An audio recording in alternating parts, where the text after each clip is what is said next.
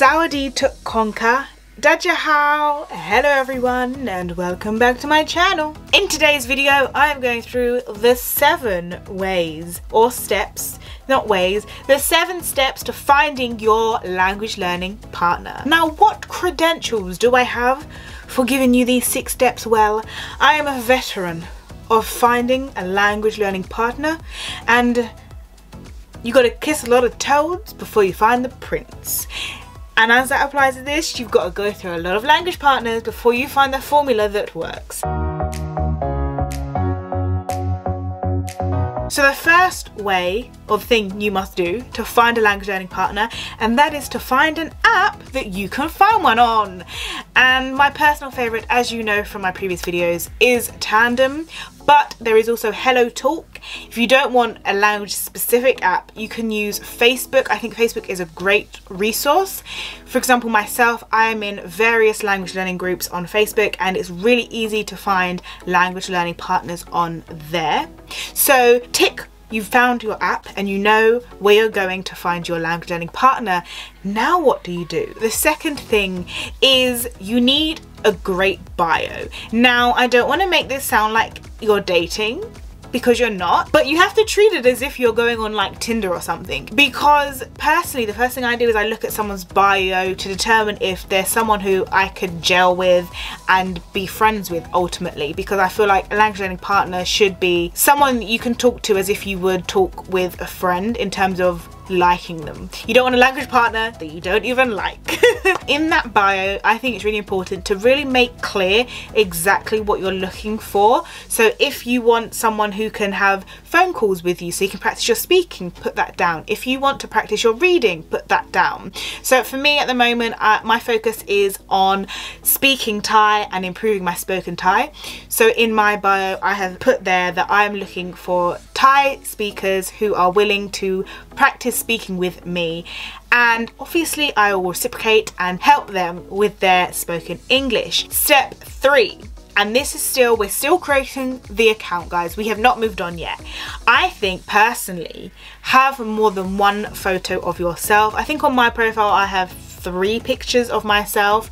The reason why I say this personally I'm not a huge fan of accounts that only have one photo. Now, of course, that person could be the loveliest person under the sun. However, because it's online, I feel like there is a, level of, you have to be very cautious with who you're speaking to. And I think it's very clear to see if someone's photo looks like they've just robbed it somewhere. Basically a typical catfish. You need to be comfortable with the person you're speaking with. You need to feel like the person on the other end of that conversation is a real person and is who they say they are. Now you've made your profile. You're ready to go. Step four is more of a, an emotional one be prepared for rejection. I cannot tell you the amount of people that I've messaged and said, Hey, my name's Victoria, da, da, da, love to be a language learning partner. And then you get no reply. So be ready for rejection. Do not take it personally, okay? If they don't want to reply, then that's their loss. But don't take it to heart. Do not think, oh, well, I'm just going to give up. No, no, no, no.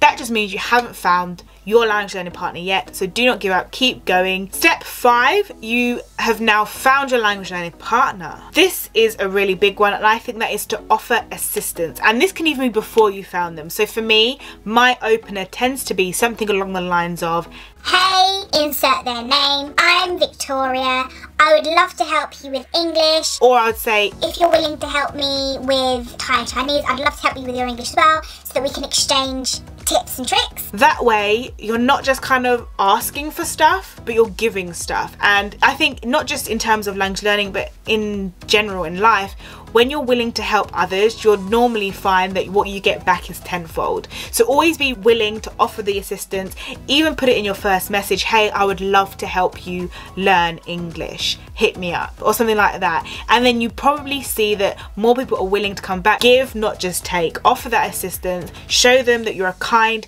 giving, amazing person, as I know you are. Step six is to find out if they're a match. If that person isn't a match for you, and when I say match, I mean someone that your personality gels with, because you're not going to want to speak to someone who bores you or someone who doesn't get your jokes because oh, come on, you're hilarious. Why aren't you laughing? Like, why isn't that other person laughing? So you need to speak to someone who you feel is a great match because I feel like you'll get a lot more out of the relationship if you treat it and feel more like you're friends rather than you're in school and you're being made to work with the person who sat next to you. You don't really like each other because you're sat next to each other, you have to work with each other and now you're stuck. No one wants that. Finally, step seven, you've downloaded the app, you've done your bio, you're ready to offer that assistance, you found your match, and now you're together, you're learning the language, keep the conversation flowing. There is a tendency for, I think especially just with the modern world that we have and we get distracted by so many different things, we're pulled in so many different directions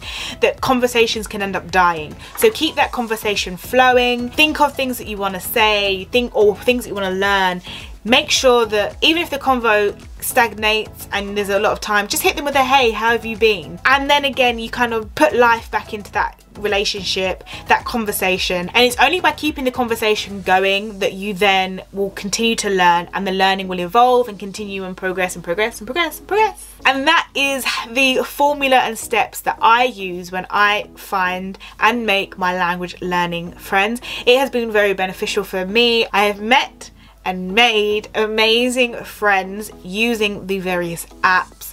And I have retained said friends by treating them as friends. And it was only by making sure that we were a good match at the beginning of the introductions that we have now developed such great friendships. Because like I said had our personalities been so completely different that we just clashed at everything we would probably not have been friends because the way I see it is if I wouldn't talk to you in the real world, why would I talk to you in the virtual world? so those are the steps that I have. I will be making a follow-up video to this one. The follow-up video to this one will be about how you can maintain that language exchange partnership, ways that you can really build on it so that it does become a really good long-standing relationship between you and your language exchange partner.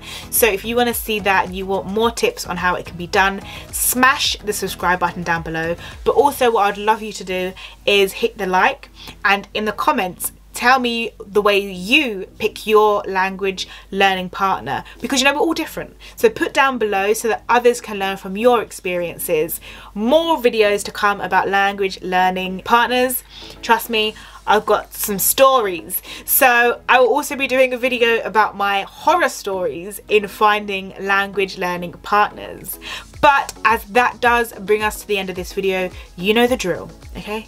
I want you to have a blessed day. And until next time, Sawadi Tuk Sajian. Goodbye everyone.